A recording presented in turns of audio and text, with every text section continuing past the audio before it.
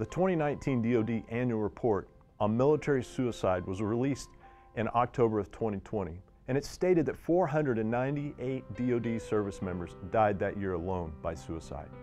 That statistic covers all branches and all affiliates of the DoD community. Taking that statistic one step further, that means on average 41 individuals per month ended their life by suicide during the 2019 calendar year. That is in total 498 too many. My name is Chaplain Herb Lemke and I serve as the 593rd ESC Family Life Chaplain. During my time as a military chaplain, I've had the opportunity to sit with many soldiers experiencing pain and considering suicide as a viable option. While everyone's story is different, as a leader, a battle buddy, or just someone in the right place at the right time, it's important to remember that a person's emotional pain is not always obvious. It becomes important to therefore understand signs most commonly linked to individuals contemplating suicide. The National Suicide Prevention website identifies three of those most common areas.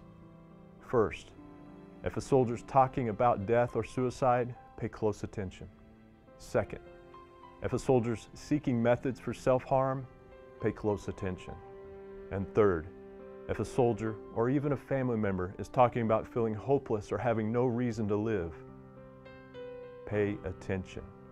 If you find yourself coming into contact with a service member within your community expressing any similar signs of pain, be willing to start the conversation about thoughts of suicide, but also be willing to listen and be willing to escort them to a professional who is trained in providing the help that person needs.